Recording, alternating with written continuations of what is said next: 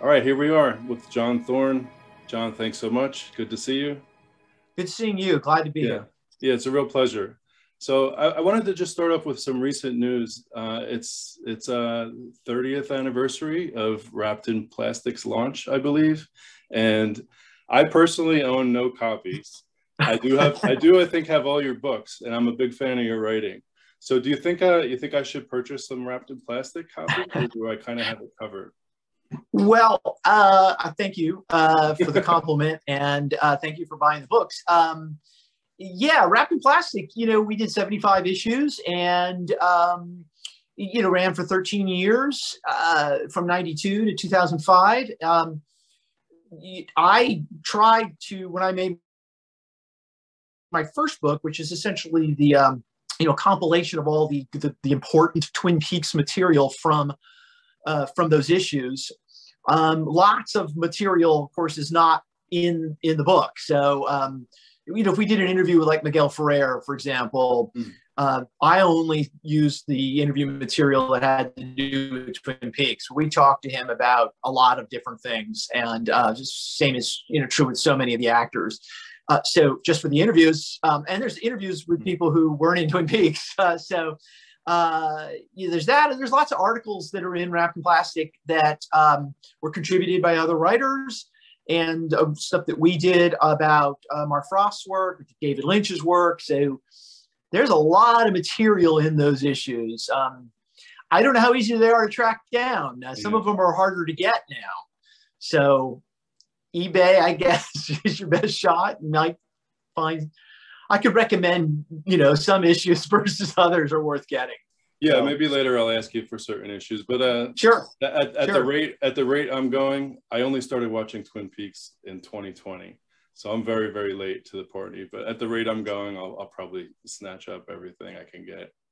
Um, but I think tonight mostly we're going to be talking about the return uh, with the focus on your newest book, and uh, uh, I've, I've told you on a couple occasions I'm a I'm a big big admirer of that book. I think it's a huge accomplishment. Um, it's such a like massive show. It's a you said it was going to take you a year. Apparently, it took you four. So what's up with that? but yeah, you know, I didn't know what uh, uh, how long it would take. I knew I had to write about it. I knew yeah. I wouldn't be done. Well, I'm not going to be done, done. But I knew that if I didn't address it, if I didn't write about it, that there would be this big gap in my um, relationship with Twin Peaks mm. over the decades. And so I felt compelled to write about it.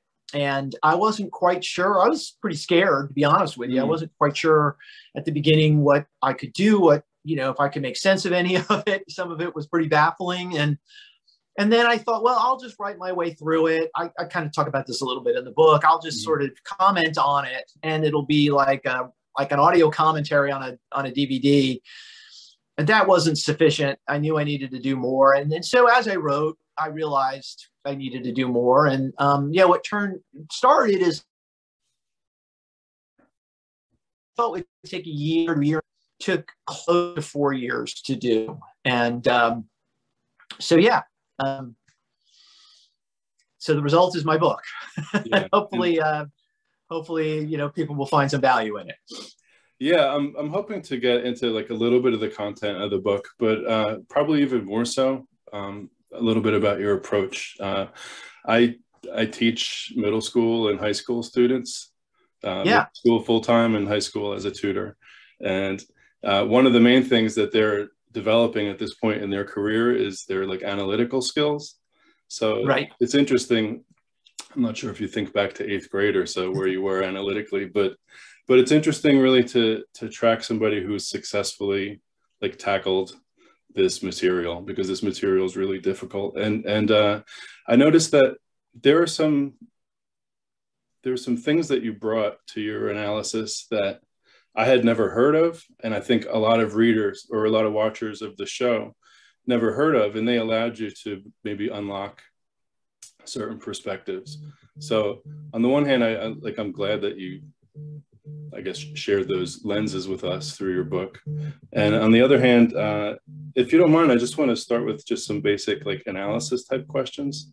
Sure. Uh, yeah. And starting with, could you have done this say, did you have the skill set to do this 25 years ago to tackle the return?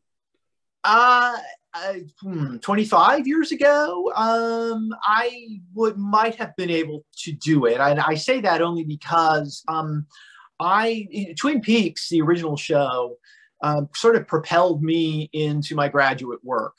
Okay. Uh, I, I, I went back to graduate school after Twin Peaks had aired because I was interested in television and I was interested in television production.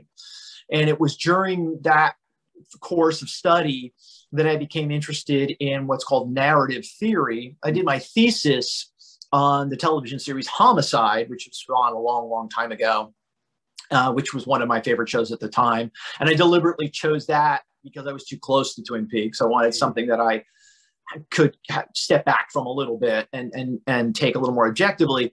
But anyway, I studied what's called narrative theory, and narrative theory is is basically the study of how we tell stories. Uh, you know what a story is and how we present a story to someone, whether it's in uh, text uh, as a book, uh, which is where narrative theory kind of grew out of. But there's been a lot of study of narrative theory in film and television um, because there's sort of there's obviously there's sound and visual elements uh, there, and because um, when you're telling a story on film and television, unlike a book, it's running at its own rate, and so you really don't have necessarily the luxury of stopping it. Uh, certainly when you're watching a movie in a theater. Um, and going back and re, you know, watching a scene, you, you can do that now at home video. But but anyway, um, so so it's a long answer to your question. I, I started studying narrative theory theory in the late '90s and uh, and early 2000s. So I think that's when, honestly, I started to feel confident in my writing about Twin Peaks, and it it was it was then in those years that I started writing what I think are my better essays about the original show and about Fire Walk with Me, uh, and uh, so so I guess you know it's kind of a silly answer to your question. There was certainly a time I could not have done it, but yeah. Uh, but it sounds like you had a lot of raw material as a fan and like a you know as a pretty passionate fan of the show, and then you acquired maybe uh, I guess you, maybe you rounded out or added onto your formal skill set through your graduate work, and then returned to Twin Peak Peaks. I guess maybe a little more armed. Would, would you say yeah, that's accurate? Yes, definitely. I mean, I like you know I like to read uh, good, informative uh, essays about film and television. Um, and one of the things we tried to do in Wrapped in Plastic was because I, I like an academic essay. But what I don't like is an academic essay that makes me really work hard to read it, where it's using you know terminology that most people don't understand it's assuming you know all this theory that you probably never heard of before mm. and so what we tried to do in, in the magazine was to write essentially academic essays these are informed research works but written in a way that are somewhat readable you know you yeah. can kind of read it and and and you're carried along by what you know by what the theory is but also about um, also what the content you know what the, the, the, topic is and that's what we try to do in the magazine that's what i try to do when i write even you know now is make it accessible because yeah. there's some fascinating you know there's some that's fascinating theory there and you can make it really hard to understand and uh, or you can try to to work it you know, making it easier to understand. And so that's been the, certainly my effort is to try to provide well researched, grounded theoretical uh, approaches to something, but also make it kind of interesting, lively, readable. Uh, I don't know if I've succeeded at that, but that's definitely been my my my goal. Yeah, that's great. And there, you know, there are people who do like reading that stuff for fun. And yes, do, do like reading those types of essays for fun. You know, not for not for school, not for grades, for right. speculation. And I think Twin Peaks fans probably skew a little heavily in that direction. Um, yeah, it kind of draws that kind of crowd. Um, and and I will say that I love the book, you know, and I've read different sections of it, but it's a it's a lot you know dense yeah. the show is dense there's a lot of a lot of concepts that i think you succeeded at not making too academic and yet the just the material itself is a little bit abstract, including some of the uh, some of the concepts. So I hope to get into that in a little bit. But sure. uh, just just broadly, uh, how's the reception been for the new book? Uh, pretty good, and I will say maybe a little better than I expected. And I guess maybe I was a bit. When you're writing it, and I've said this before in other interviews, you're by yourself with it, and you don't know what other people are going to think. And um, I could perceive people wanting to throw the book across the room, you know, because some of the some of the ideas I put forth, I, I you know, I have I have certain theories that I propose that I think are supported by the text, and they may not be what other people. And this has happened to me before in other essays. Yeah. Uh, what people want to hear, or you know, what they felt about the work. I try to keep that in mind when I'm writing because I do think it's important to honor all people's opinions and not try to force an idea on someone. What I want to do is try to is try to guide someone through an idea and say, look, here's a way of looking at it. Certainly with with the support of theory and research and the text itself. So um, so the response has been there's been some some good reviews. I've read uh, you know a few on amazon and and then uh, people have tweeted out something very nice things. And um, it's very you know it really is gratifying. It really makes me feel good uh, that i've reached some people. Um, that's what i like about a book about one of my favorite films or whatever it's just like mm. oh we're kind of sharing the work again we're sharing it we're, you know what we liked about it and um, opening a few doors, maybe get, get you know getting some new ideas out there. So again, a long answer. uh, yeah, well, I, I, uh, I, I made like a kind of half-hearted attempt to maybe even start like a little discussion group, and then uh, I'm like, well, that's not happening. Let me just try to let me just try to talk to John himself. So figured that might be better. I have yeah. a I have a question I've been wanting to ask you. Um, have you like uh, did you learn anything about yourself, or did you like develop in any way through the course of working on this book? Oh, without a doubt. I mean, hmm. without a doubt. I think, um, you know, this really gets into this into the, the material. Um, writing about uh, about the character of Dale Cooper, whom I think in The Return is far more present than might be hmm. um, obvious and I think is being presented to us in this new Twin Peaks as someone who is struggling, who is flawed, who is trying to overcome some self imposed barriers. All of that made me think about myself and about how you know you perceive the world and what is important to you and what what is driving you and what is getting in the way of success, whatever, however you want to define that. And um, so yeah, I, I, you know, and obviously I get into a little bit of the Hindu philosophy, which was new to me, and I found some very appealing material there. Uh, I know, I know very little about it, but, yeah. but some of, of the, the Hindu approach to to living your life, I thought made some sense, and um, I've tried to kind of see the world and accept the world a little differently um, uh, now than perhaps before I wrote the book, and that's all because of my research and mm. and and what I think David Lynch is trying to convey to us in the in the return. So yes, um, I think I'm a little different.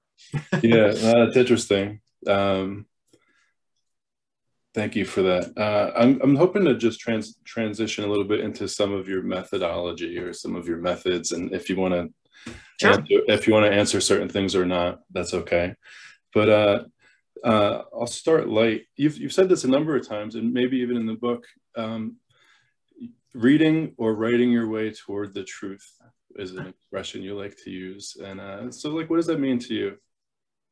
Well, it's it's interesting to me is that sometimes I have an idea about uh, a, concept or a, an idea in Twin Peaks, or or I don't, and I sit down and I write about it, and I kind of let my thoughts flow, and I think about.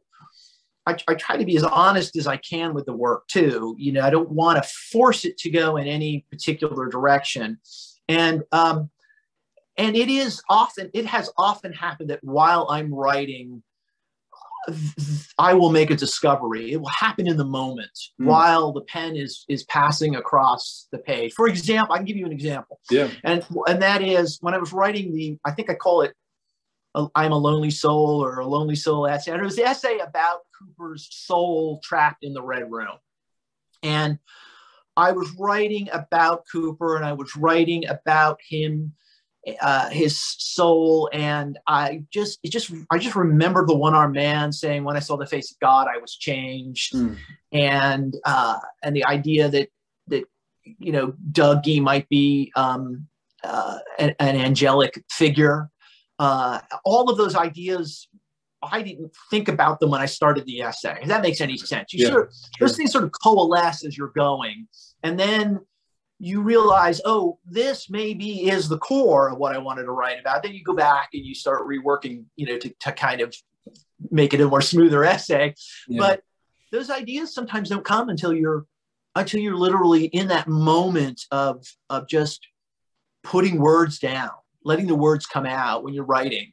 Not that they just come out all the time yeah, too. Sure. I mean, there's yeah. a lot of times where I'm pulling my hair and I can't get to something. You have to walk away from it. But but that's what I mean when I'm right I'm, I'm writing and and and you know a lot of times too I will say um, I write myself to a dead end. I will write and uh, there's nothing there, and you can't be afraid to do that because you are going to throw a lot of stuff away, but um, but you also know now what not to focus on, which there is value to writing a bunch of stuff that you throw away. So, uh, so you know, again, it's just um, I guess maybe some people say, well, you need to outline, sit down and outline and figure it all out, and I get that. But for me, it's more write and and see kind of where it's going to go.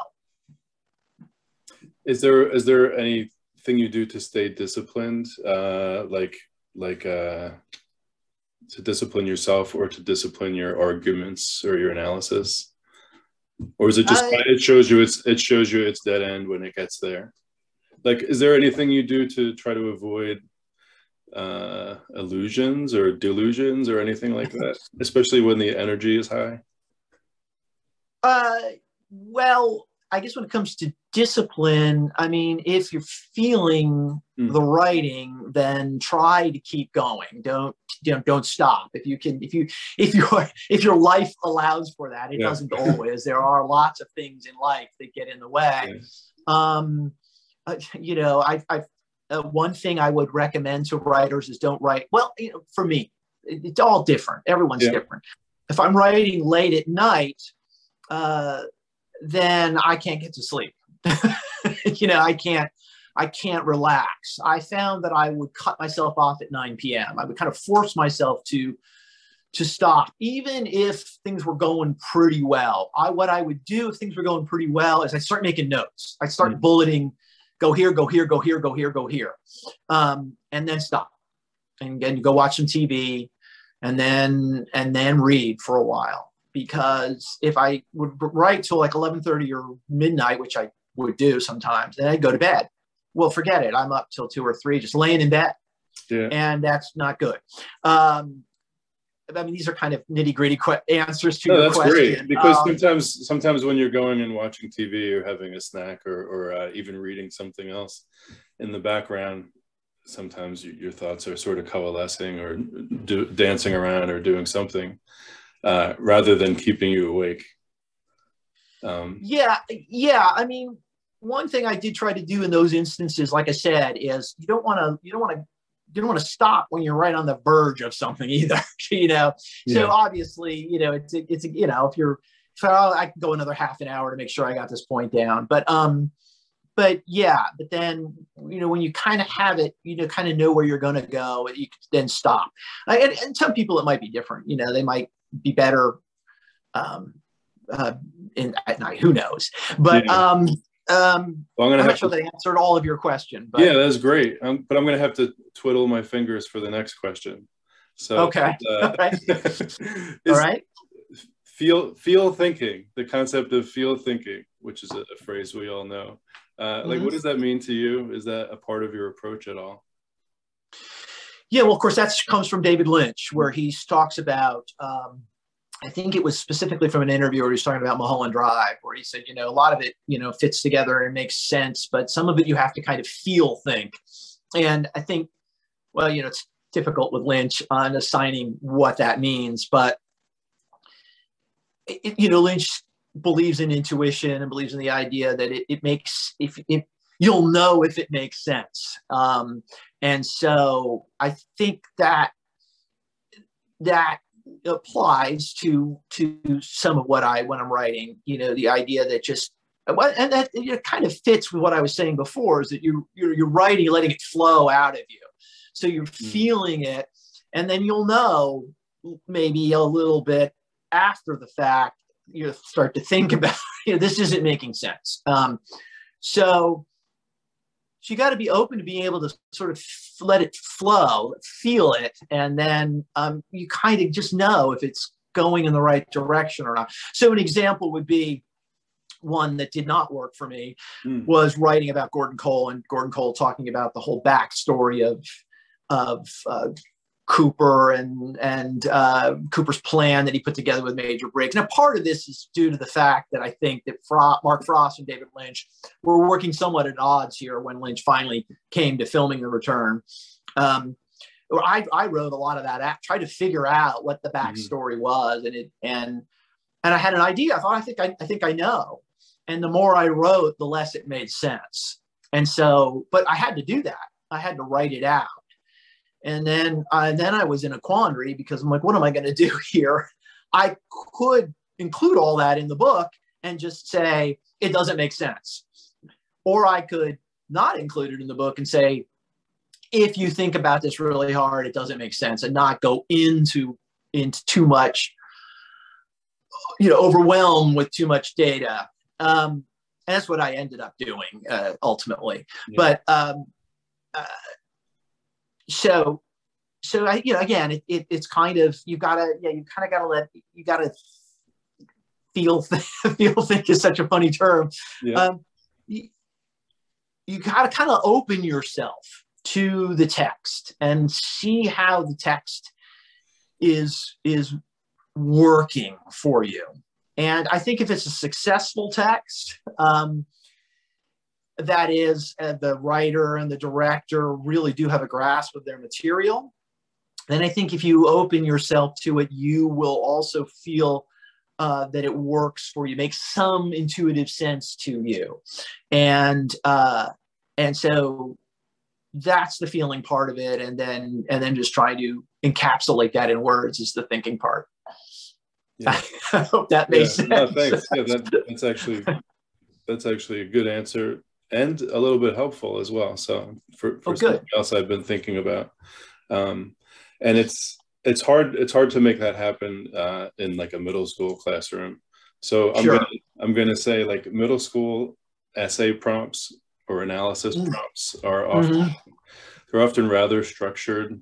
They'll be like something like uh, you know analyze the theme and maybe like three techniques the author uses in conjunction to develop the theme mm-hmm. high school, you might get something like, here are three different lenses, apply one of these lenses to X text.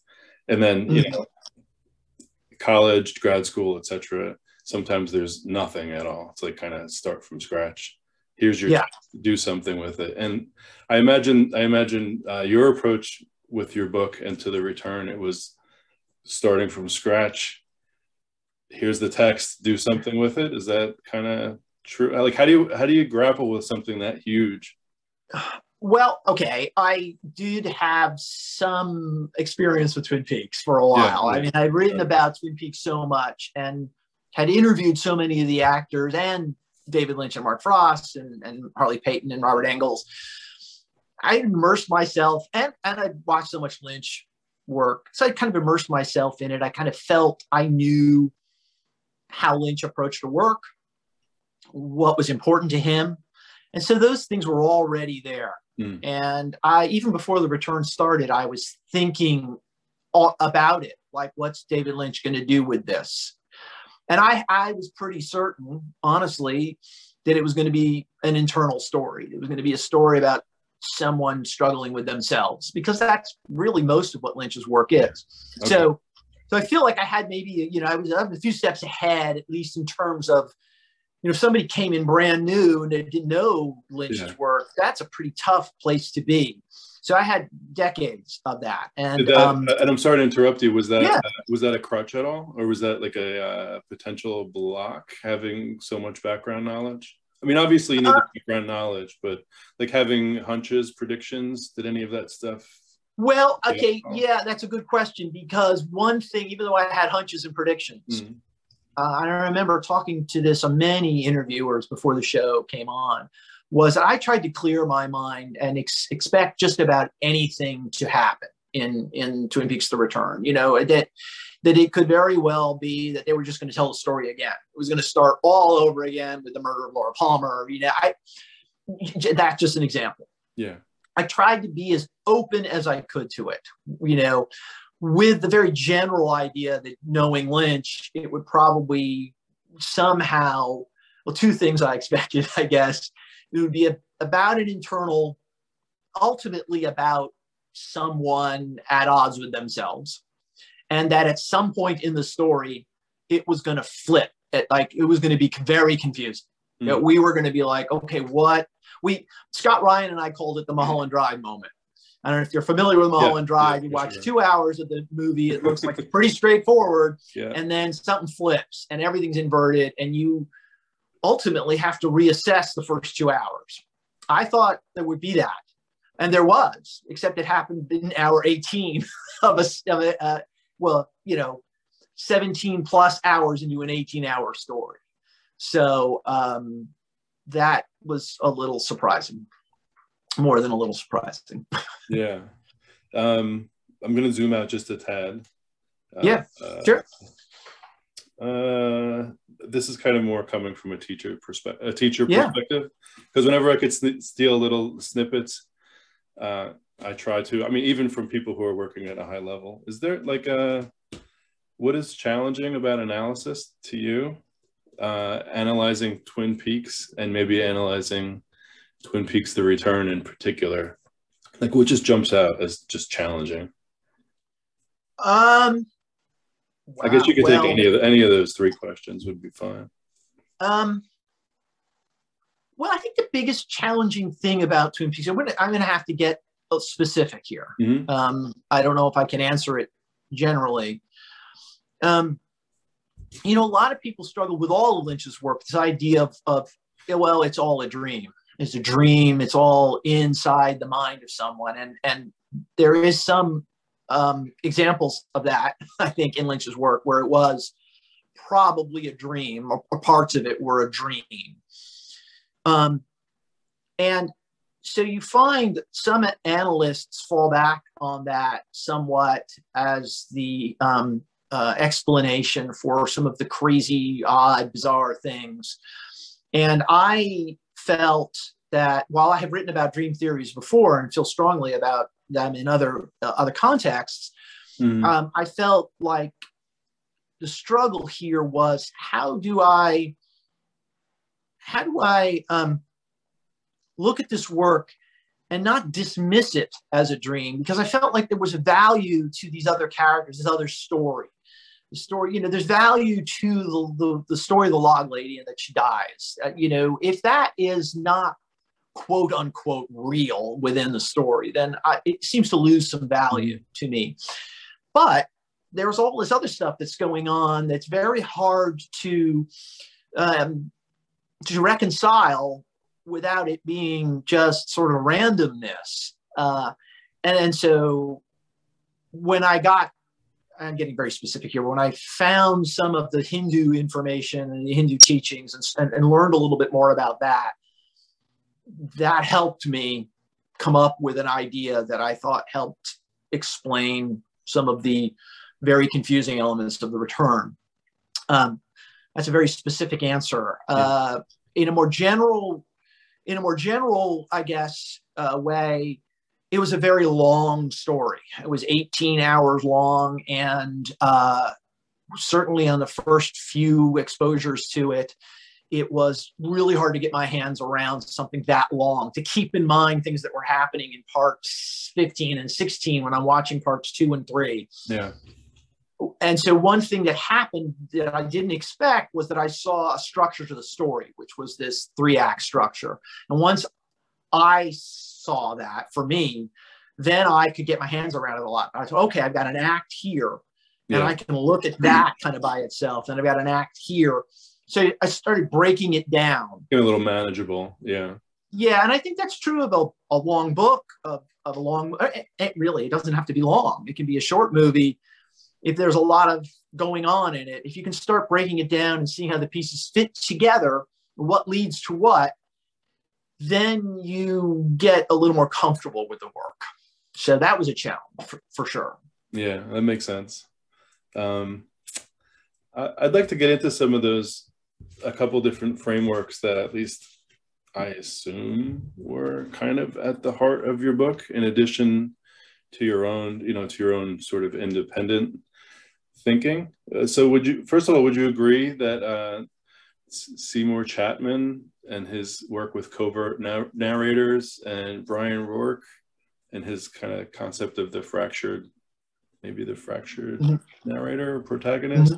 And then some of the vedas like would you say those were your three primary sort of frameworks or lenses or tools that you brought to bear on the return or or maybe not Well, yes. I mean, the, the Chatman stuff was stuff that I had studied years and years ago. And so whenever I watch anything, I kind of try to look at it in terms of how, um, you know, not to get too, again, not too detailed, but no please do you see a story, I shouldn't say a story, a film or a book or a television series. What's happening is there's two things that go on. There's a story and, and there's discourse. A story is just what happened. You know, Bob went out to pick up some groceries, and along the way, he found this million dollars in a bush, and then he was a- attacked by, you know, some criminals who chased him, and however it ends, it ends. That's the story. Mm. The discourse is how you tell that story. You could tell that story from Bob's point of view. You can tell that story from the guys who were chasing him's point of view. You can tell it in flashbacks. You can, uh, you know, you can tell it with a narrator. You could tell it Bob's narrating it, or there's an omniscient, blah blah blah. Okay, that's the discourse, and the discourse is is a way of telling a story, and I find that fascinating. Mm. How do we tell a story? How do we involve the viewer in the, what we're telling? Because you could tell you, I could tell you a story that sounds extremely boring, but I could show it to you in a way that you can't stop watching it.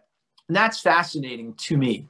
And that's what the Seymour Chatman book is all about. Um, and he basically is, is analyzing books and, and, you know, written work. But again, there's a lot to do with film.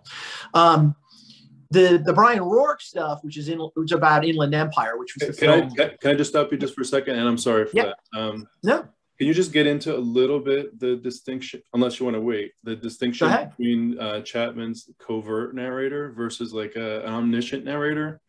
Because Sure. they seem to have maybe more in common than they don't have in common, but there's definitely a difference.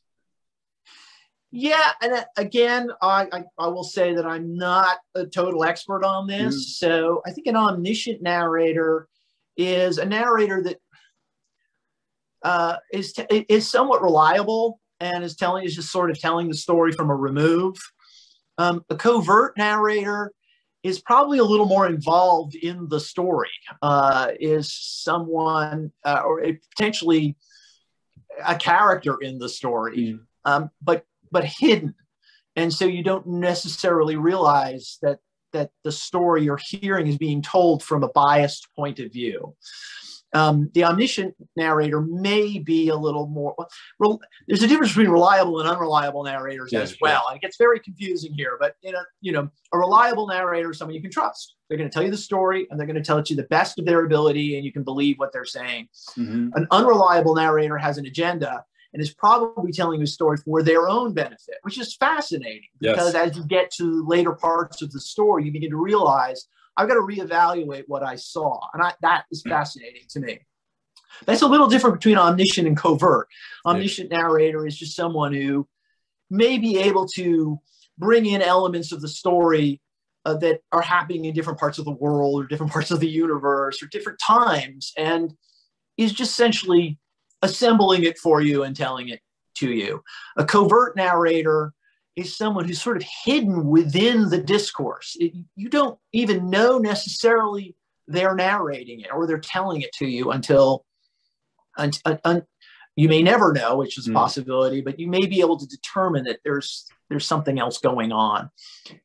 It gets a little confusing. It's yeah. it's difficult concepts. I'm not sure I I'm not sure I clarified it any. No, I think, I think you're explaining it really. I think you're explaining it really well. I also think somebody without your training would would not think that at all when watching the return, um, or maybe maybe stumble upon the idea.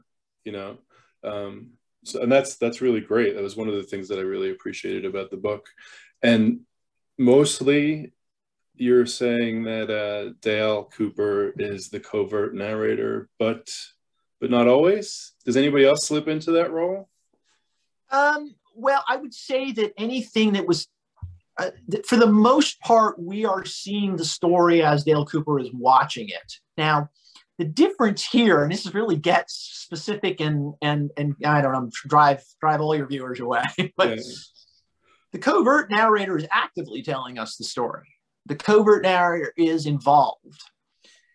Dale Cooper's a little bit different, I think, the way Lynch is presenting him. He's covert in that we don't see him and he's sort of hidden.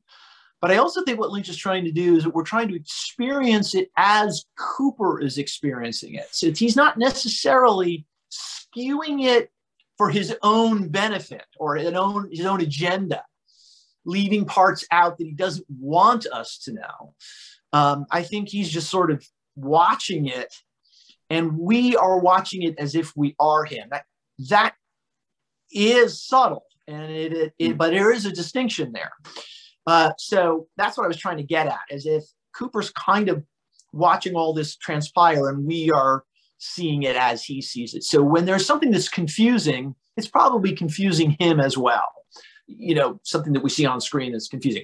But anyway, all that to say, I do think that Lynch found it necessary to move outside of that point of view on occasion when he was telling us the story. And, and he signals that to us through black and white imagery. So that things that happening in black and white are probably not being shown to us through Cooper's filter. They're mm. potentially more reliable. So that when Andy goes to see the firemen, Cooper's not really watching that. When we go back in time in 1956, 1945, in part eight when we see the Trinity explosion and the, all those things that transpire. I don't think Cooper's aware of that. I think that that's news story material that the viewer needs to know about in order to hmm. process mm. the larger story.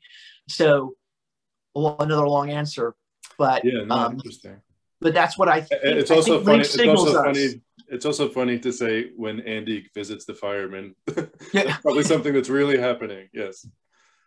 Well, I mean that was in the world of the story. Yeah, of course. Yeah, yeah. It's, so, it's just funny that that's uh that's like the first example of okay, maybe this is reliable now.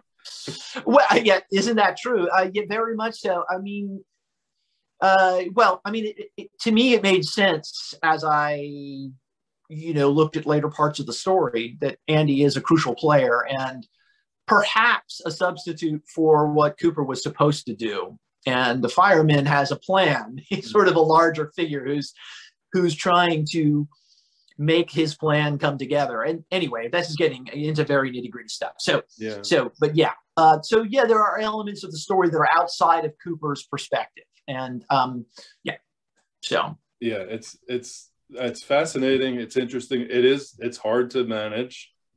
Yes, you know? without a doubt. Yeah. Um, and, it, and it slipped away from me, I think. Um, I'm the first to admit it. Um, I tried not to force it, you know, and say, you look, I've got this theory, it's 100% right.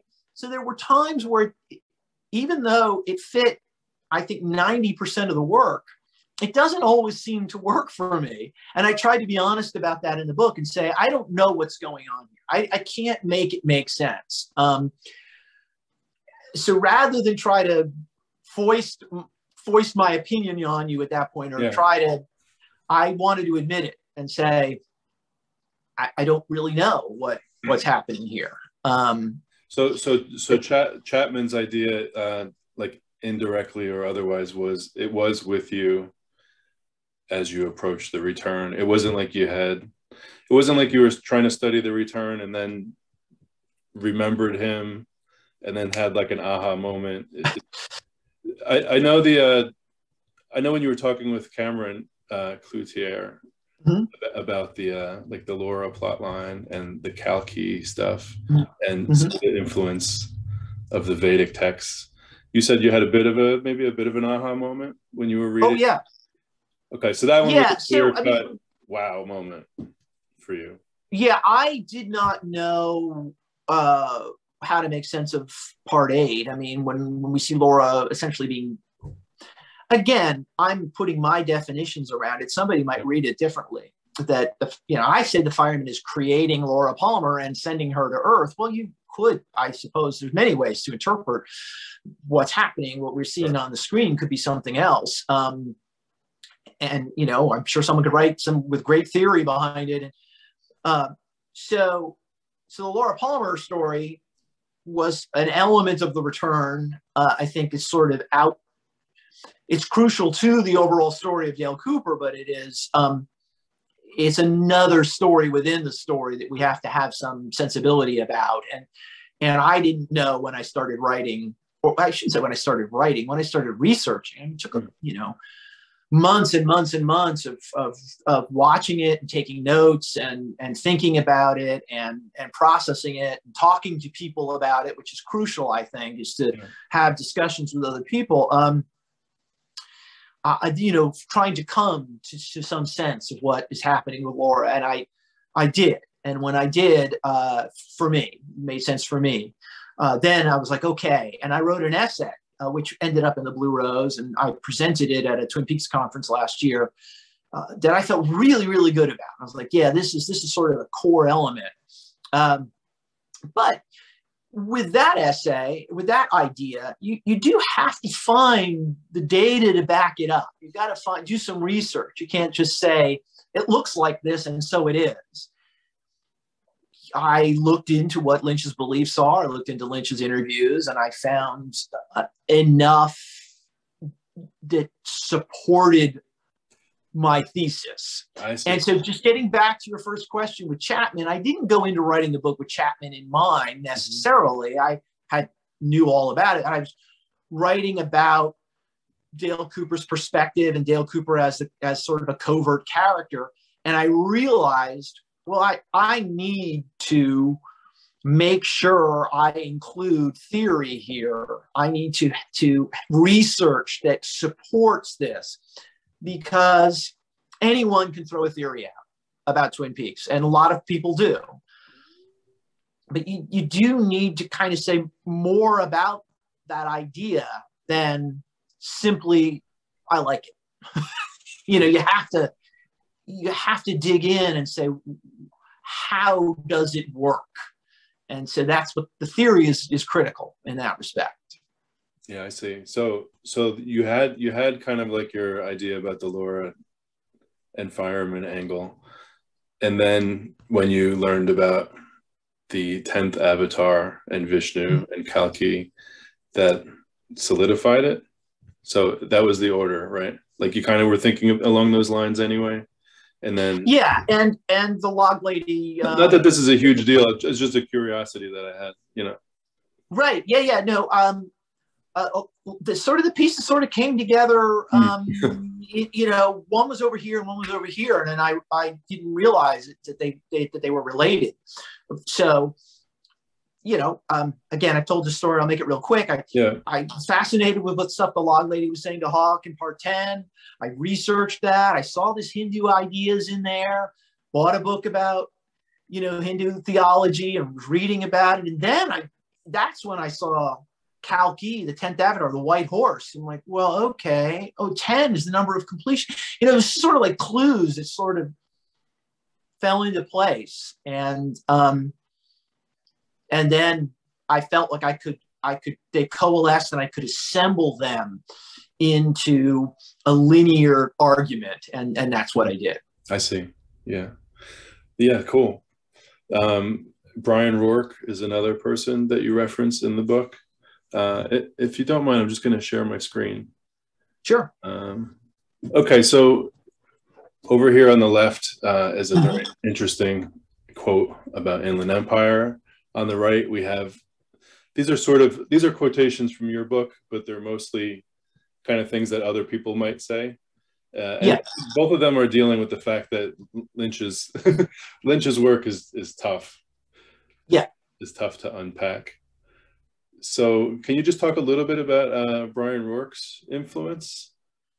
Yeah, you know, I didn't realize that Rourke that stuff was out there until I was well into the book, and this happens a lot. You know, is um, I felt that Inland Empire was an important work because it was the last work that Lynch had done, and I just saw some stuff in Inland Empire that was happening again in The Return. Hmm. Um, and so I just looked for as many academic essays on Inland Empire as I could find, and and found that one and you don't know. Sometimes you know it's it's sort of um it, it's it's a treasure hunt in, Yeah. in, in a way. You, you don't know if it's going to be of any use to you. There's a lot this is what research is i guess right? So you read a bunch of essays and and many of them unfortunately don't add to your argument. They don't subtract. They just they're just not you know they're not helpful and then I stumbled upon some of what Rourke said. And the idea that he presents about Inland Empire is that maybe the main character in Inland Empire is entirely off screen. And that everything we're watching is essentially, he has a great way of phrasing it. And I can't remember what it is, but it's sort of the, uh, hmm, I wish I could remember what the, the, the quote was. Um, Yeah, some type of like fractured delirium or something like that. the, the, yeah, the delirium of, a, of an off screen character that we're seeing you know the thoughts and the and the and the the constant ideas that are kind of moving through the mind of someone who isn't even on screen. And i thought well that really supports the idea that i have about cooper in the return. And so obviously if another academic writer who's done their research has discovered or is is proposing an idea grounded in theory about another Lynch work, and in fact, the work that came right before the return. Hmm. That is value. That's a valuable uh, building block that you want to have in place. You want to quote it and say, I'm not the only one who's kind of found my way here. Someone else has about another work. And, you know, it's Lynch. So it's probable that we could apply some of this idea from one work to another. And it just is very supportive of the argument I was making. And I was really happy to find that, which is a really hard essay to read. I don't know if you've read it. It's a tough Um, one. Not much. I, I I jumped around. Put it that way. Yeah, Yes. sure. Yeah. Yeah. It's difficult, and and there were parts where I wanted to. s- Well, there were a couple moments where I was getting a little upset, so I jumped around a little bit. But Yeah, but I, I think there was a ton of value. You know. sure. Yeah. Um, I I thought I thought some of I thought some of it was being crammed into a certain sort of like pre uh, preset framework a little bit, but but the main uh, but, but the main concept that that I think you borrowed from or that you found uh, some uh, em- empathy with that that that was a cool part of the essay. I think. Yeah, Yeah. it, it really helped me make sense a little bit of Inland Empire too, which I Yeah. find fascinating. The more I've watched Inland Empire, the more I appreciate it. Um, the first time I saw it was in the theater. Oh, yeah. I came out, my head was spinning. and it was a unique time in my life because I was kind of overdosed on Lynch and Okay. we were ending wrapped in plastic and i was like i don't want to analyze this so I, I left inland empire one, one watch you know for Mm. years for years. But i knew i knew when i was writing about the return that i had to go back to that. You know i had to go back and watch it again. And, and luckily i liked it. I, I liked it even more. Uh, and, and i think i watched it a couple of times and like it even more every time i watch it. It, I knew I couldn't write about the return without processing that film. And then obviously to process that film, I had to read what others had written about it. So Well, that's you an know, you interesting. that's a that's an interesting, I think, helpful statement. You you just said yes, you just said obviously to process that film, I have to read around, you know, and see what others thought about it as well. And uh, that's just an interesting statement that I, I, certainly believe you. Um, I don't. Yeah, I don't, I don't think everybody thinks of it that way, but yeah, that's good. Well, I mean, I, you know, that's not true for everyone. You don't have to appreciate yeah. or or analyze a film. Uh, that the only way is to go read what people yeah, have yeah, written about it. But with a work that's challenging like that, you want to. And for me, an essay is something that I might not agree with. I don't think there's a lot in that Rourke essay I probably don't agree with, like you. Um, but I wanted to open some doors. I wanted to get mm. me thinking in a way I hadn't necessarily thought of before. And, and Martha Nochimson's another great example. Martha Nochimson's probably written more academic material about Lynch than any other author. And I disagree with her about a few things, but ne- she never fails to make me think about something new. Yeah. And then I take that and go my own way with it.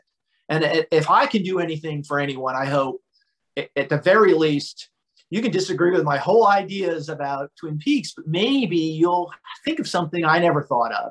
And it'll open something up for you, which would be fantastic. You know, that's what yeah, you want to do. Yeah, totally. And I, I, really appreciate that about you. One, I think one of the first exchanges that, that you and I had, I kind of put a generic question out to the yeah. about analysis and right. people's approaches. And uh, yours was, it was somewhat about like just keeping the ball in the air. So yes. And uh, you know, you're gonna you're gonna dip your oar in, and hopefully people will find some of it pleasing, of course, and then but also it's gonna get them thinking. Yeah. You know, and then it just yeah. it just kind of keeps that tennis ball up in the air going. And, exactly. Uh, yeah, I, I I think credit to you, just in my opinion, credit to you for that point of view. You know, especially somebody who's really accomplished. Um, can I ask you a little bit about editing? Sure. Yes. Do whatever you like. I know you. I know you said that you wrote some words about every single scene in the return. Almost every single scene. uh, and once you decided to to uh, to use mini essays or essays as interludes, you just had no room left in the book for a lot of those. Uh, maybe I'm wrong, or you just didn't think the material was strong enough um, was there anything that you wrote, any scenes you wrote about that you cut that you still like? Yes, in fact, I have thought about this. I wish I had. I had. I'd spent days and days. I'm serious. I mean, it took days to write about Dougie's first breakfast with Sonny Jim, where he's sitting there and he has his first cup of coffee, and the yeah. music is playing, and there's the owl cookie jar behind him. Um, I went through that scene literally edit by edit. Mm. I wrote it. I wrote it up. Um, I, I must have just been in the wrong mood when I went back to it all and I read it and I was like, this is just um, uh, it, it, it's a detour. Don't waste your time on this. Keep people reading, you know, about mm the, larger ideas. I wish I kept it in. I, I like it. I, I, I've gone back and looked at it. It was pretty good. You know, there's I talk about a lot of different things that are going on in that scene. And um, and so that's that's one that I cut that I probably cut uh, too impulsively. There are other scenes that I cut for sure that just you know I could have spent time, but I I realized, uh, yeah, it was slowing things down in in when you're writing about it as a book. I mean, I I could I think I wrote about um, the autopsy of of Major Briggs and the woodsman coming down the hall, and and um, I forget what the character's name is, who comes from the Air Force, and her role in it, and yeah, Knox. All of that material embellishes the story. But I realized when I was presenting it in a text form that you could leave it out and no one would notice, you know. And it, and I felt well, if you can leave it out and no one will notice, I better leave it out. So yes, I wrote about it, but I ended up cutting it just to just to keep the book moving. I see. Yeah. So, but there are some missing pieces out there. So, yeah, and not only and not only about the scenes themselves, which I, yeah. I wrote about and just tried again tried to streamline it. Uh, there was a lot of theory. I've said this before. It was stuff I've mm. written about quantum physics, and and um, it was it was weighing the book down. It was it was just too much. So I um, I, I you know tried to try to make that easier stuff to read, and so I took it out. Yeah, Yeah. Is there um uh are there any quantum physics sources or directions you might point somebody in who wants to yeah. explore the return like through that lens because uh, it's interesting. It's you know it's yeah. it's, it's compelling.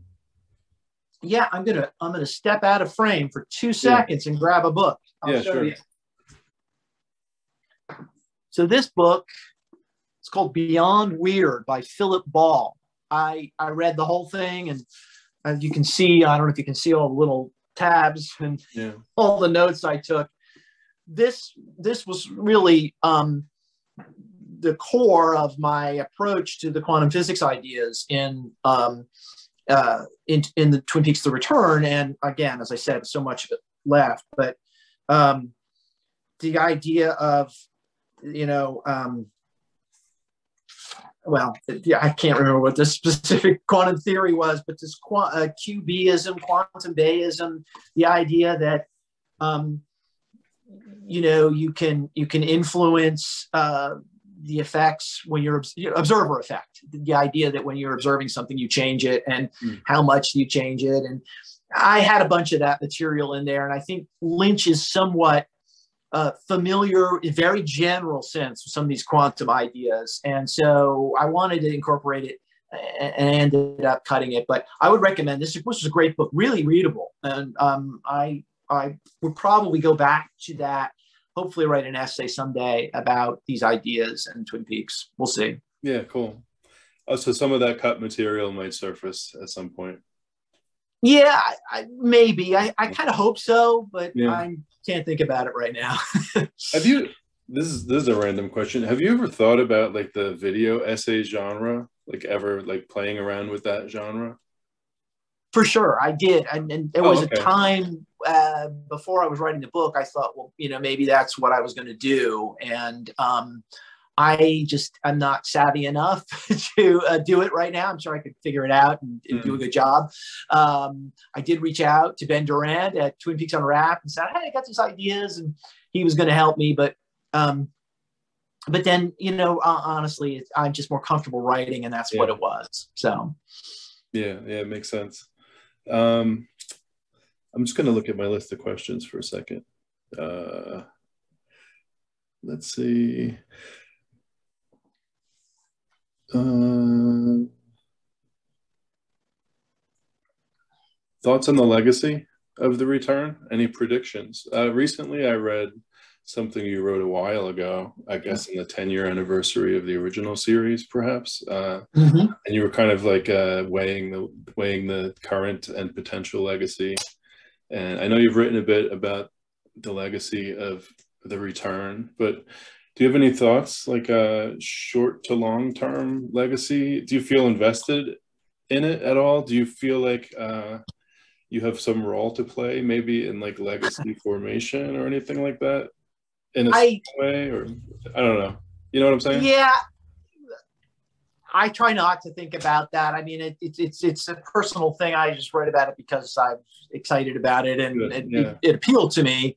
Um, and people have had some very generous things to say about Wrapped in Plastic and you know Wrapped in Plastic being there when it was before there was an internet, kind of mm. keeping Twin Peaks fandom alive, which is very generous thing to say. And I hope that's true. I but I can't say whether or not uh, it is. Um, uh, I think that you know all of David Lynch's work is going to last. He's uh, one of the great movie directors. It's just like Stanley Kubrick. You know, there's kids in college right now who are seeing 2001: A Space Odyssey for the first time, and they're like, "Wow, you know, this is amazing. I need to know more about this director. I need to know about this film." Yeah. Some of them it will inspire them to make films. Some of them inspire to write about film, and I think that's true of Twin Peaks and, and Lynch in general.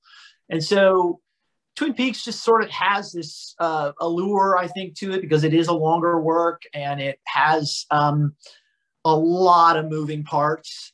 And I think it appeals. To, I think there's a. I, I've said this before. I think there's a, always going to be generations to come who will, when they're especially when they're in college, will discover it and want to dive into it. And so, in that respect, the whole work will continue to live. The return is a piece of the work. And so it can't be ignored. I mean, I guess people could just stop, you know, with the first two series uh, seasons or whatever. But I think it will live on. I do. I think people will continue to go back to it. The thing about the return is it's 18 hours and it's a it's a big ask. You know, it's not like Fire Walk with Me, which is two yeah. and a half hours. This is a commitment. You know, to sit down and watch it. If you're enthused about the work, it's not. You're going to love it. Um, but but you know, you've got to spend time with it. I, I, think I do. I think it'll be around. I think people will co- continually come to it and, and be in awe of it. Yeah, I think. Do you think it's as amazing as I do? well, um, I wrote a whole book about it. So, uh, I mean, I'm not very, I'm, I'm, not like super well read or, or like super like very cultured or like I don't have a lot of film background, but I could tell like, all right, you take what could be done what could be done what could be experimented with in a film? You got you got point of view you got setting time characterization uh, uh, symbolism and and you could list 10 more things. And it seems like genre and it seems like if something was there to be experimented with or played with not not just for the sake of playing but you know like purposefully it was. It was like almost anything that could be uh, manipulated or or done it seems like it was done in the return the first series too but i think even more so in the return. I don't know. Yeah no i, I think you're right. I mean i think and i think a lot of that is due to mark frost's uh, influence yeah. as well. You know frost is a little more uh, forensic and a little more um, um, i guess he's inter- interested perhaps he, he's certainly interested in the occult but some of the science fictional aspects and trying to p- put pieces together and, and make them make sense. And certainly he knows a narrative and how to drive a narrative. So, um, so a lot of the genre elements probably came in f- more because of him than, than Lynch necessarily. But, um, and that's the fascinating thing about the Twin Peaks throughout, with the exception perhaps of Fire Walk with Me, is that you had two very, very powerfully creative individuals, but each with different sensibilities coming together. And um, at, at sometimes it's sort of like the, you know, the, you know, I'm, I'm going to get this, you know, a wave is in sync with another wave. I forget what the terminology is, but um, when, when the two waves synced up, Lynch and Frost, it was it was brilliance beyond compare. But then when the two waves were in opposition, it was also brilliant, but for different reasons because they were, I think, sometimes working at odds, and yeah. that opened a whole bunch of doors to interpretation.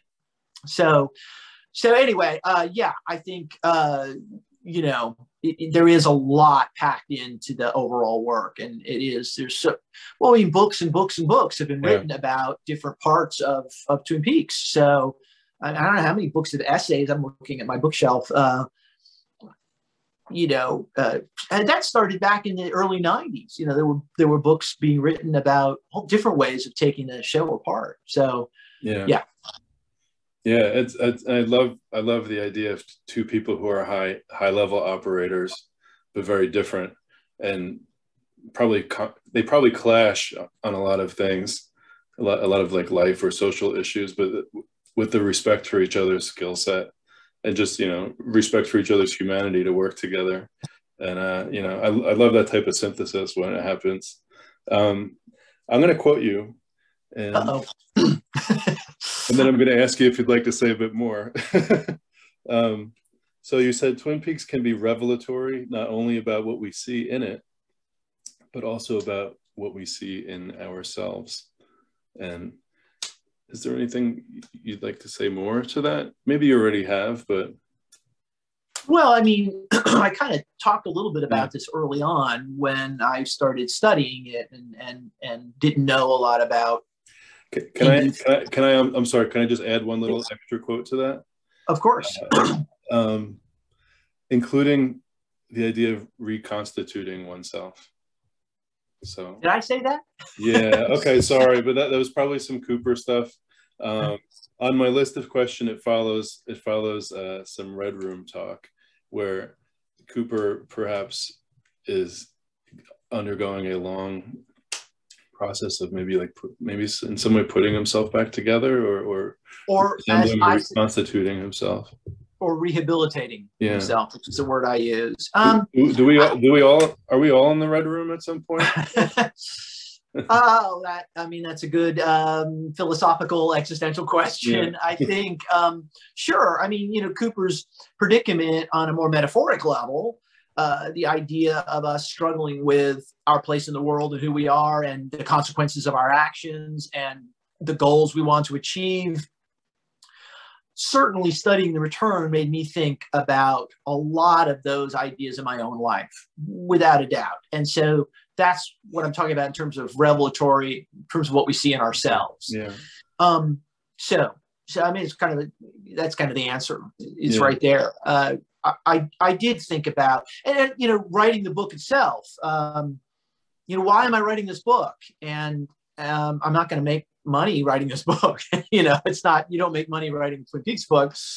Um, and then I'm like, well, do I want people to you know you know think differently of me and you know you realize all of that goes away early on mm. these are silly thoughts that you have in your head but as you get further into the project you realize i am writing this for me i'm writing this because i want to do it i need to do it and uh, i don't really worry any you know i think lynch has actually said stuff like this too you do it for the doing mm. you know you don't do it for any other reason and um, and so the process of writing changes you a little bit, makes you think about yourself.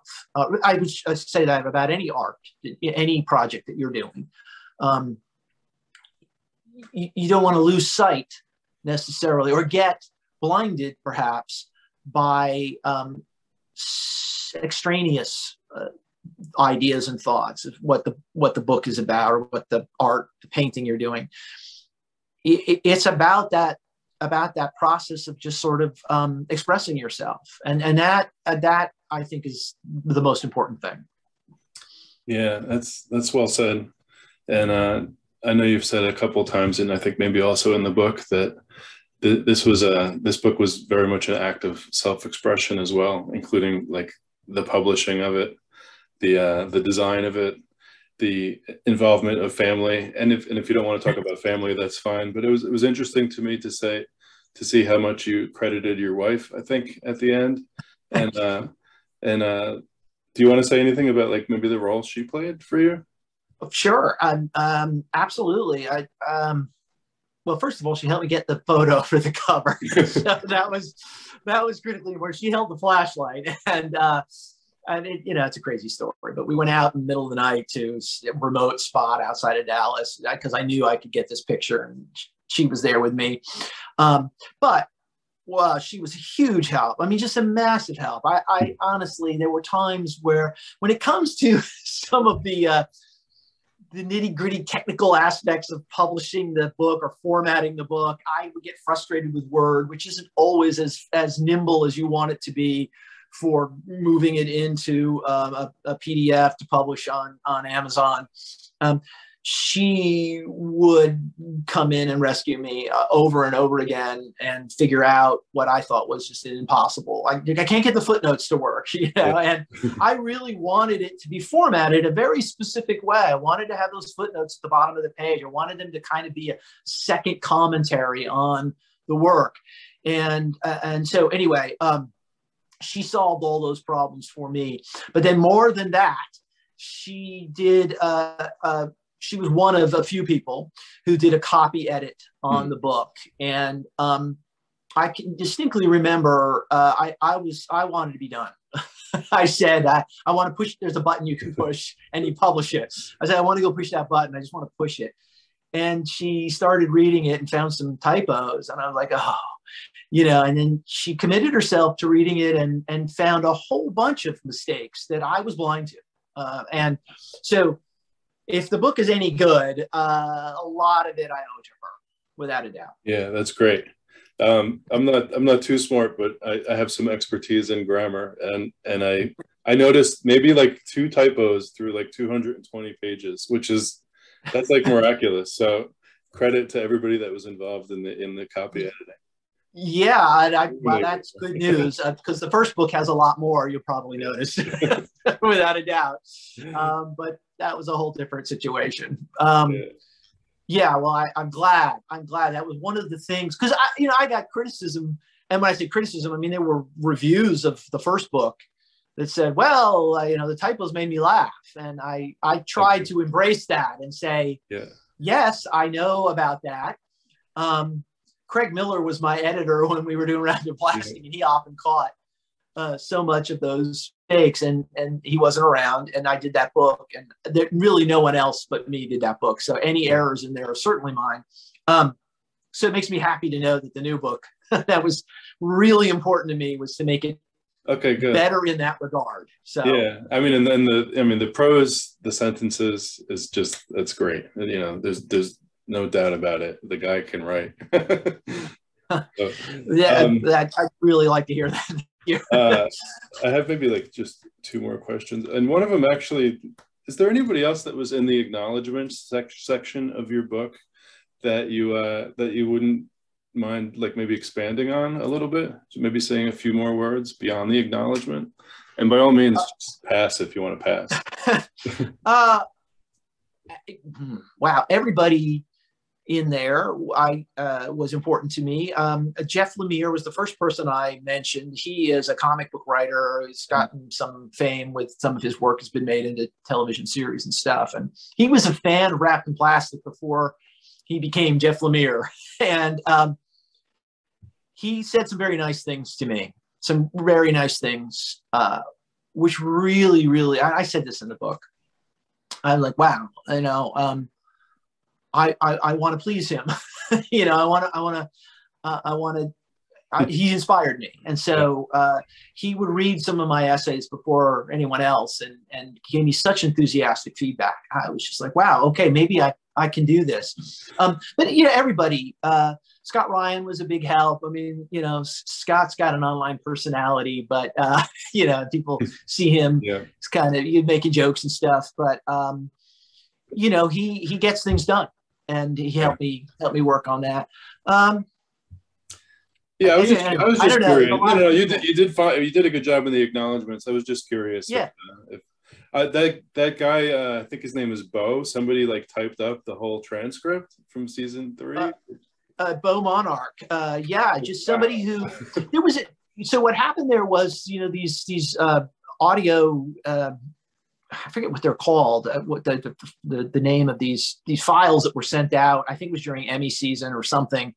Um, that uh, you know basically had all the dialogue and continuity, and it was it, they came out, and you know one day he tweeted, "Hey, I turned it into the first one into a script format." Mm. Which was amazing. Yeah, I mean, looked yeah. through like having a script, and he would he did them all. He did all to 18 hours. I printed them out and I have you know used them so uh, yeah, I made sure to uh, to acknowledge him, and it is funny because I contacted him privately, and um, I'll just share this part.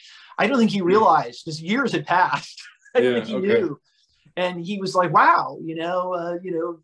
The universe does, you know, have ju- you know, uh, there's karmic payoff for yeah, all that work I did, uh, and um, so yeah, he he did he did a great job. That was a really neat thing that he did.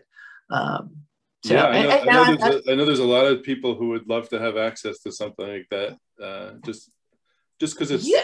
so convenient and uh, yeah, and I, I think they're still available. Um, there's a link somewhere. Oh, okay. I don't. I'll, I'll, I'll, I'll see what I can find out and yeah, see if other people can. Maybe. Yeah, yeah, because. um, I'm going to just ask one more thing about you that maybe you won't want to answer, maybe. uh, well, like I said, I, I started in 2020, like in my mid 40s, uh-huh. which is maybe a little weird to come to this show that late, but it, it grabbed me and it hasn't let go.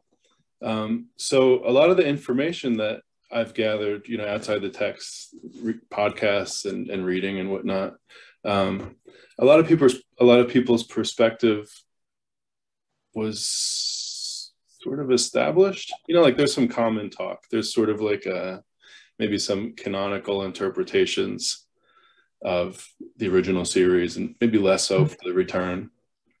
Fire Walk with Me as well. Are there any things that you have written that you believe have kind of become like sort of part of the interpretive canon? and secondly, is there anything that you think will uh, in the new book? Uh, well, I hope the Laura Palmer thing, you know, people who've read it seem to think, um, hey, that I, I didn't realize that. It, it, it, makes some sense. I see this fitting, you know, uh, clarifying elements of the return. So I hope that if anything, you know, people will will um, at least look into some of those ideas. Maybe they'll mm. see something else. But um, uh, I mean, I wrote an essay about Cooper as a dreamer in Fire Walk with Me, and I don't know if you're familiar with that, yeah. but um, um, that was controversial at the time. I remember getting letters at Wrapped in Plastic, and they were people were mad. They were like literally mad. Okay. I would have suggested this. It's like, well, it doesn't mean it's right. I mean, it's just a, it just some it made sense to me, and I I I really like that idea, and I think there's a lot of, of uh, data to to support it uh, in the text and outside of the text. Um, so, but I, you know, I don't, I don't know if I, I, I don't think I necessarily. Is, is, there anything you think? Is there anything you think uh, will not last? Like even even though you love it, like it's just going to be, it's not going to last when people continue talking about the return. Like any takes that you had. Oh, stuff that I've written. Yeah, like on the um, return that you think maybe you think it was cool, but you just think people are, or or maybe I could say this differently. Do you have any really good critics, or or uh, anybody who's like? Well, I'll tell you what. Your ideas pushed back, or maybe taking them in a different direction, and and sorry, I keep talking, but sure. I think you were saying maybe to Jeremiah, maybe not, but you, you kind of want that, is from what I heard. Well, I are you getting it? I value reason, good criticism and yeah. and something in more than just I don't like it. Or and yeah. this is what I got when I wrote this Fire Walk with Me essay. Well, how dare you? And oh, okay. a real character. It's like okay, fine.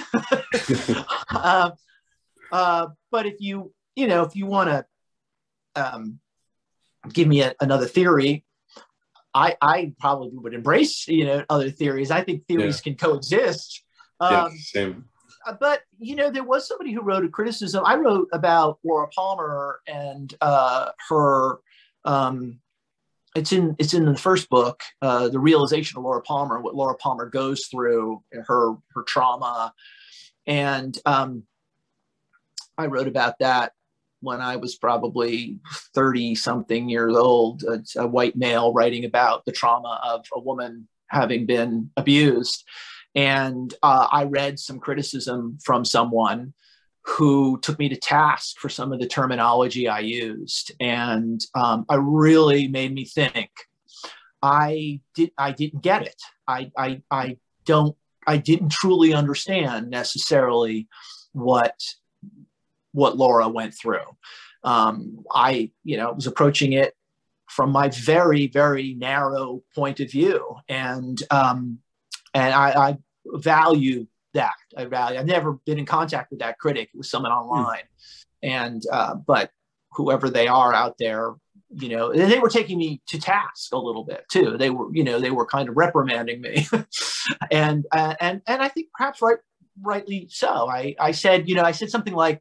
Laura has gone through a trauma that is the worst thing that could ever happen to anyone, and and and this was a woman who was writing the criticism and and uh, you know they said something like you know why would he use terms like that? And i and i guess i realized uh, you know I, I i i wasn't i wasn't the right person to say those things. So I, so criticism like that is important. And i try to keep i will say when i when i wrote this book i had that in uh, some of that in mind. I realized who am i as you know, 50 year old uh, white male writing about some of these ideas, um, whether they're religious ideas or whether they're feminist uh, ideas, um, or any number of other things. I, I, I want to be careful to to um, to at least acknowledge uh, other other points of view and and not and not make blanket statements about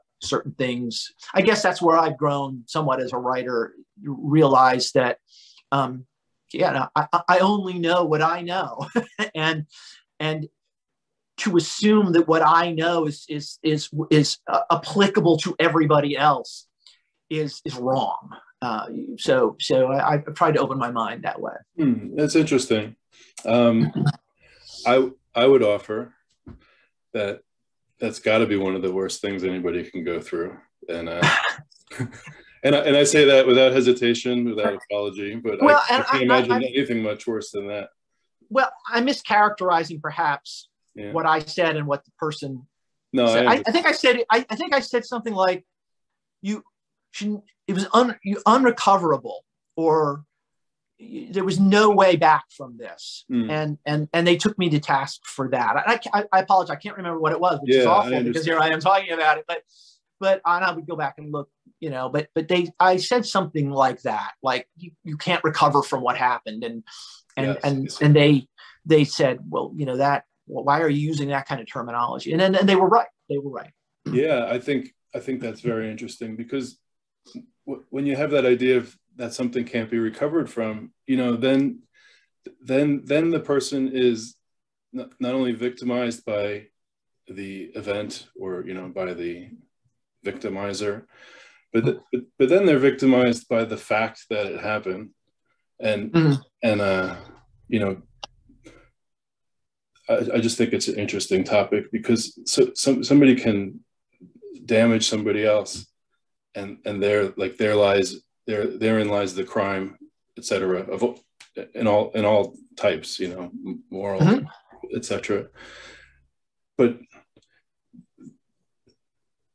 do they do they get to keep committing that crime forever? You know, like sort of in, right in your body's memory, in your in your memory, you know, and it's uh, right. And that's I think that's what I realized that that you know uh, in a writing in terms of writing I'd probably just toss that off.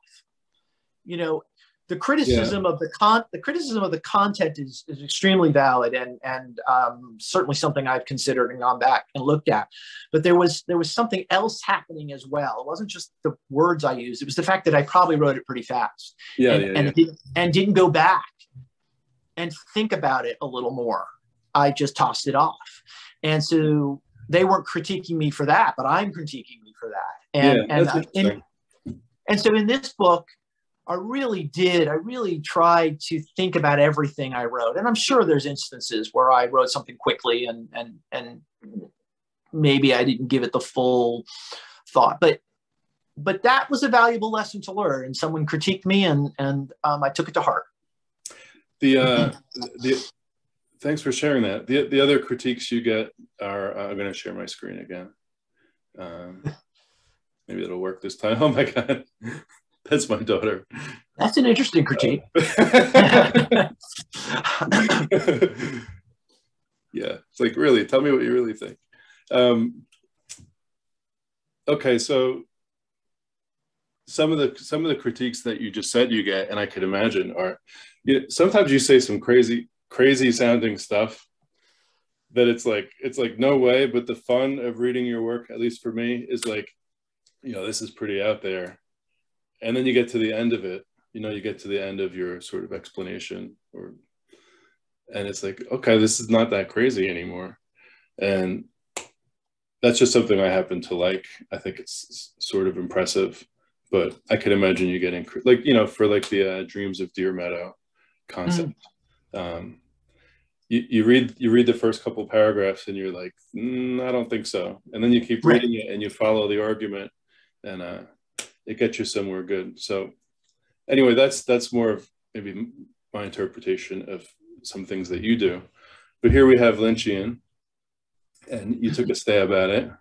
Uh, you, you decided to add a little more, I think, than like the traditional sort of Lynchian thing. Do you want to say anything about this or not really?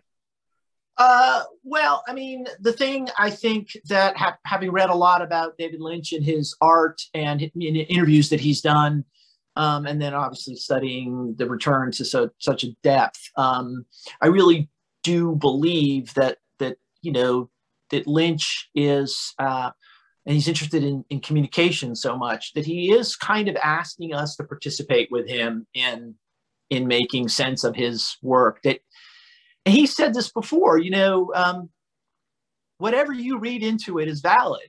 And and some people find that kind of like, well, it's sort of trite, you know. Hmm. Come on, tell us what it means. And I I don't think it it's trite. I think he is saying, you know, we're working on this some to some level. We're working on this together, and and uh, I've left it open enough for you to come in and bring some of yourself to the work and so if it if it means something to you that I never intended, and Mark Frost has said this too, so it's not just Lynch. Yeah. If it means something to you, or if you're seeing it in a way that I never intended or didn't think about, that's still valid. It's not like you're wrong. You can't tell. You can't tell someone who's experiencing art that their experience is wrong. I mean, it's just it's just not true. Uh, it, it, it's it's it's completely valid, whatever you said. The only thing I guess I would say is, um, you know, I, I, guess what I dismiss is when someone tells you you're wrong about something and they're there and, and they just sort of, you know, they or they don't like your theory, um, and they and they don't attempt to at least explain why they don't like it. I mean, yeah. it's one thing that, yeah. Anyway, I, I it gets it gets it, it gets uh, gets under one's skin. vague and obscure. But anyway, uh, this was a half joking question, but you want to take a stab at it? Uh, wow, that is crazy. Uh, I I think I probably already already did uh, with you, and that is that idea that um, um, that hopefully you will think of, of, of the work. Uh, maybe I can open a door for you that I never thought of before. I again something that I had had tweeted to you a, a while back, yeah. and and we talked about earlier in this conversation. Um, I, I, don't know if that's something exclusive to me by any means. I mean, there's a lot of great critics out there who uh, who are successful, I think, because they not only get you thinking in the way that they their thoughts, um, but they get you thinking in ways that they never intended. Mm. And so that that's what I I mean, I certainly want to convince or at least compel you to my ideas, you know, want to try to support my ideas. But um, I also do hope that, you know, it opens some doors that I never thought of you know yeah, so I don't know, stumbling through that answer for you. Yeah. well if uh if, if anybody if anybody aside from my mom watches this then uh, yeah. I'll, I'll, throw that question out to a, a wider audience too because that might be interesting just to see how other people might uh might might uh respond to that you know.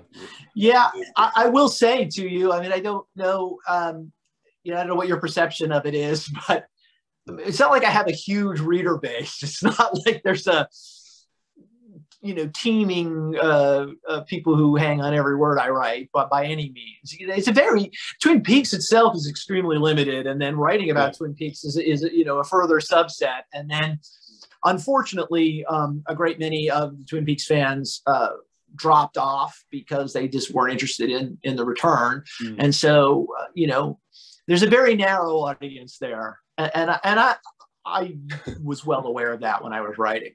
Yeah, well, that worked out for me. So. Good. I'm glad. Yeah. Well, I uh, I got to thank you again, and uh, it's it's really a pleasure. And, Good. Well, same here. Yeah. Yeah. yeah I, I hope you enjoyed. I did, I did, and I, I, I enjoyed the, the things that you put out on, on Twitter. You know, I, uh, I guess I found you because you were, you were anal- uh, breaking down the structure, the sentence structure of, of, of that. And um, I would often look at them as puzzles because I couldn't yeah. figure it out. But it was teaching me about some grammar that I, you know, I, I'd forgotten since grade school. So, and then uh, you know, obviously, you were uh, you're very enthused about the work. So, uh, I was drawn to your enthusiasm. Yeah, thanks. Well, once again, I, I appreciate it, and I hope you have a great day. So yes, yes, yeah. All right, we'll be in thanks. touch. Cool. All right. All right. Okay. Thanks, man. Take care. You bet. Take care. Bye bye. Bye bye.